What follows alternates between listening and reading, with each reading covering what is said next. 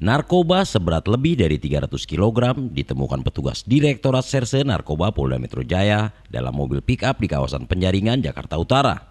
Selain menyita narkoba jenis sabu senilai 700 miliar rupiah, petugas juga mengamankan empat anggota sindikat narkoba jaringan internasional yang berasal dari Cina, Malaysia, dan Indonesia.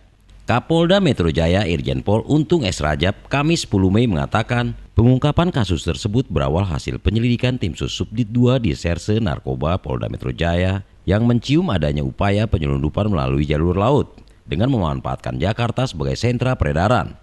Dari hasil penyelidikan tersebut, petugas berhasil menangkap AK dan DR di parkiran Hotel Sano Penjaringan pada Rabu 2 Mei lalu. Di tempat yang sama, polisi kembali menangkap MW alias A pada Selasa 8 Mei.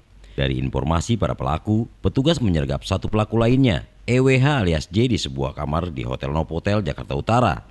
Dari tempat ini, polisi menemukan 12 kg sabu. Kepada petugas, J mengaku kerap menyelundupkan sabu kemudian didistribusikan ke sejumlah tempat menggunakan Suzuki pickup bernomor polisi E9112HG. Mobil berisi 338 kilo sabu yang dikemas dalam bungkus aluminium itu ditemukan petugas di parkiran pertokoan Malpluit Village, Penjaringan. Kasus tersebut kini masih dalam pengembangan petugas untuk mengungkap lebih dalam peredaran narkoba yang melibatkan sindikat internasional tersebut. Menurut Kapolda, sindikat itu dikendalikan oleh pria asal Malaysia bernama Mr. AS. Dari Jakarta Utara, Yahya Abdul Hakim, Poskota TV melaporkan.